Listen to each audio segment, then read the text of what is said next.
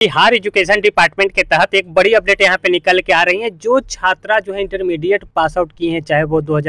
2021 में पास किए हों 22 में पास किए हों 2023 में पास किए हों तो वहाँ पे जो है बिहार एजुकेशन डिपार्टमेंट के द्वारा जो है उनको पच्चीस हज़ार रुपये की सहायता राशि जो है उनके अकाउंट में डायरेक्टली जो है ट्रांसफ़र की जाती है स्कॉलरशिप के रूप में। अगर अभी तक जो है आप आवेदन नहीं किए हैं, अगर आप छात्रा हैं और इंटरमीडिएट पास आउट किए हैं इक्कीस, बाईस, तेईस में तो उसके लिए जो है ऑनलाइन जो आवेदन है, वो स्टार्ट है। आप लोग जल्द से जल्द जो है यहाँ पे फॉर्म भर के पच्चीस हज़ार रुपये की सहायता राशि जो है आप ले सकते हैं डायरेक्टली जो है, आपके अकाउंट में पच्चीस हज़ार रुपये की सहायता राशि जो है ट्रांसफ़र कर दी जाती है।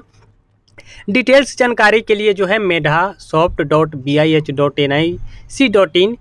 के वेबसाइट पर जाके आप डिटेल्स जानकारी ले सकते हैं, कैसे आवेदन करना चाहिए, क्या एलिजिबिलिटी है। पूरी डिटेल्स वीडियो ऑलरेडी हमने बना रखे हैं, उसका वीडियो का लिंक आई बटन में आपको मिल जाएँगी।